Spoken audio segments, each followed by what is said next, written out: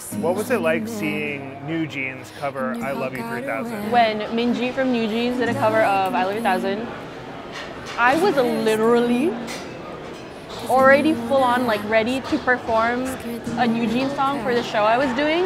What are the odds? What are the chances? Like I, I think I manifested this into the world.